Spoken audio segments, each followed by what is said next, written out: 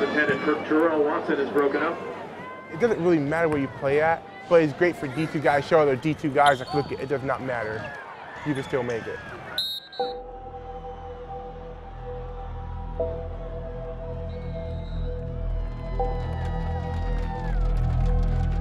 Being a D2 guy is a big chip on your shoulder. It's just not for yourself, it's for everybody.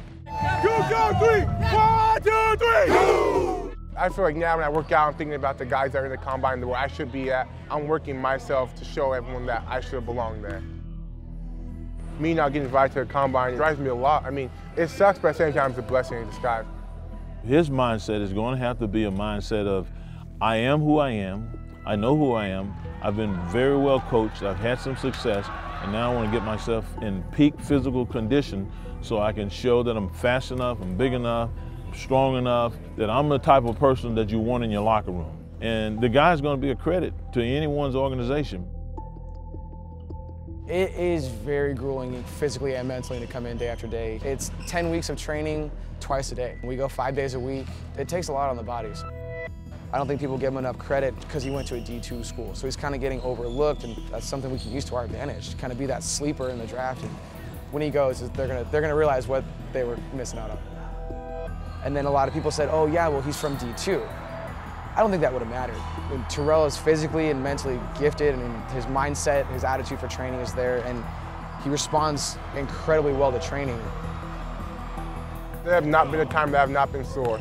Weekends go by so fast because the workouts are really hard and really intense. And here at Stars, learning different things about my body and about how the NFL is, I feel like I'm a lot more prepared.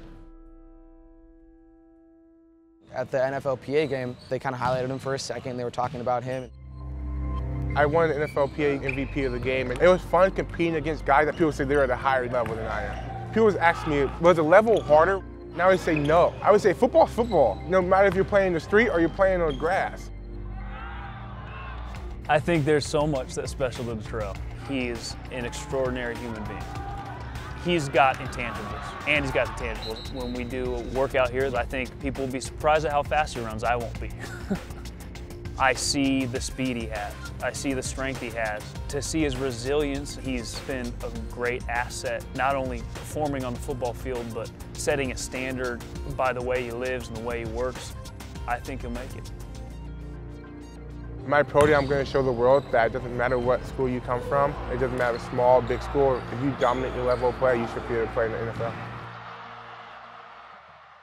It does not intimidate me seeing NFL teams here at all. I mean, I've been seeing them all season during football games or during practices. They're here all the time. It's another day to impress. Not being invited to the combine had to have provided some motivation for him today. Physically, he's in the best shape of his life. I know his best football is ahead of him. 236. To see the strength levels, you're seeing a young man who is primed and ready to be a great service to some football team out there. not invited to the combine, but then in a way it helps you. It's like, okay, now I just sit and watch what people are doing on TV, knowing that I have to beat them now. Like whatever they did, I'm gonna do better. That's what my chip on the shoulder was. Average in the combine was 17 for a running back. So getting 22, I was like, oh yeah, it was a big deal.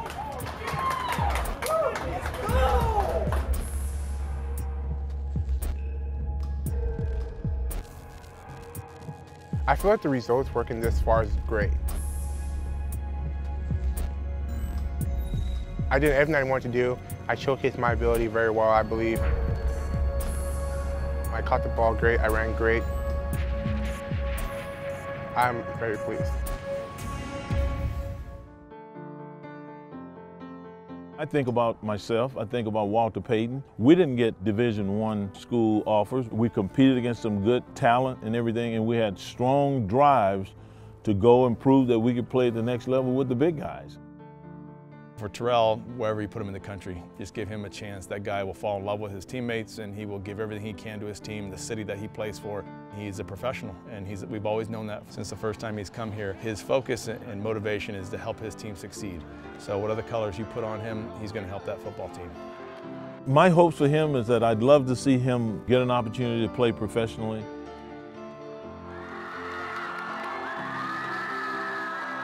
Because I know that his life message is going to be a message that's going to impact people. And any team that has him is going to be awfully proud of him in a very short period of time.